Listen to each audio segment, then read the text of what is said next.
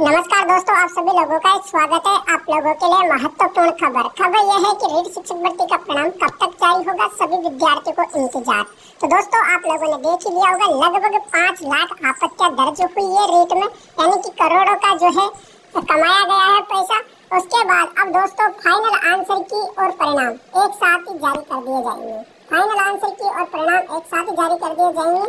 इसमें पाँच से सात दिन लगेंगे। कितने? पाँच से सात दिन लगेंगे फाइनल आंसर की को चेक वेक करने में। तो आपका परिणाम, अभी तक जो जानकारी मिली है, बहुत सारे अधिकारियों वगैरह ने जो जानकारी बताई है, उस हिसाब से आपका परिणाम। दोस्तों, कब तक आ सकता है? ग्यारह तारीख या तेरह तारीख को जारी हो सकता है। ये बड़ी खबर है दोस्तों। आप लोगों के लिए महत्वपूर्ण खबर है। जितने भी अपडेट देख रहे और परिणाम कहाँ से देखोगे तो परिणाम इस वेबसाइट में आना है और आपको यहाँ पर न्यूज़ या नोटिफिकेशन में जाना है और आपको परिणाम देखने को मिलेगा। जैसे यहाँ पर 22 तारीख लिखी हुई है तो यहाँ 11 तारीख आएगी और यहाँ पर परिणाम आ जाएगा, ठीक है? तो जितने भी अभ्यर्थी हैं, वो परिणाम का इंतज़ार कर रहे हैं। आप बस परिणाम आ रहा लोगों का तो आप सभी लोगों के लिए बेस्ट ऑफ़ लक आप इंतज़ार खत्म हुआ, वीडियो को कर दीजिए शेयर ज़्यादा से ज़्यादा लोगों तक इस वीडियो को पहुँचा दीजिए।